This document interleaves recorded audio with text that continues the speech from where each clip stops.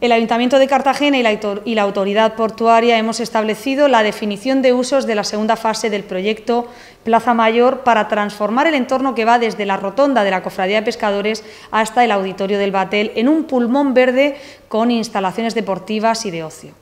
El concepto de Plaza Mayor supone convertir el entorno del puerto en un protagonista fundamental de la vida social, deportiva y cultural de toda Cartagena y con esta segunda fase vamos a seguir cumpliendo con ese objetivo.